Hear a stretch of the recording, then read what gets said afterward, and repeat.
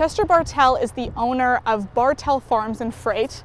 You own 3,000 acres of farmland out here in Morris, Manitoba, and you farm wheat and canola.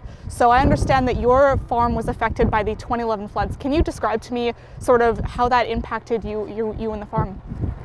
Yeah, it starts it starts early if you if you uh, realize that you possibly are getting a uh, going to be getting a flood.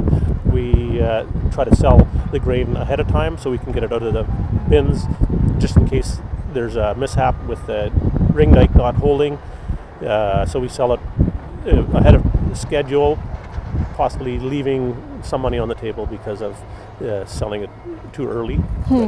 yeah, we get ready for that, and, and then with the roads being uh, totally uh, submersed, then there's obviously you can't haul anything during that hmm. time. So.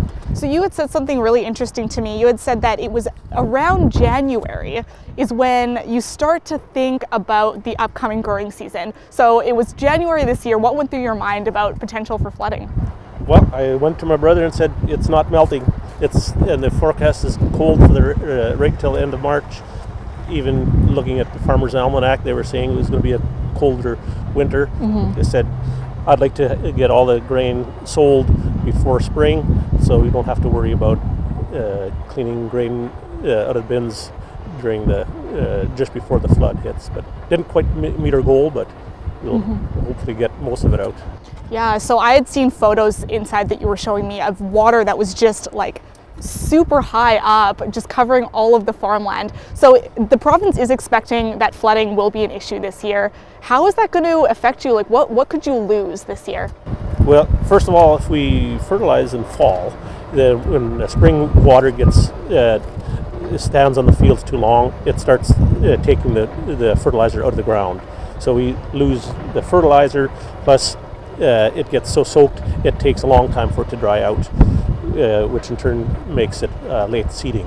And every day you uh, get later into the season, you lose bushels at the end.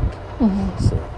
And, and that that is a huge financial loss for you guys as well, isn't it? Yes. Some uh, some years, like 1997, it was like 50 uh, percent less uh, revenue on a year of 97. Wow. Well, thank you so much for, for chatting with us today. Um, again, the province has talked about high potential for flooding this year, but they are coming out with statements uh, monthly uh, to try to figure out what the prediction is for this year.